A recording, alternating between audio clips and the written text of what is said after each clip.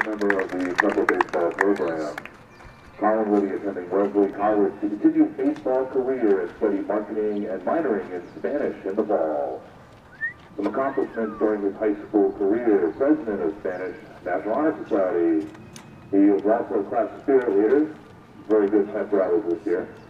Outdoor Adventure Club Secretary, Beta Club, National Honor Society, Big Cat, and Soda Club. Is thankful for his parents and countless, uh, the countless sacrifices, sa- sac- sacrifices they've made during his four-year baseball career here at Tucker. Let's give him a nice round of applause.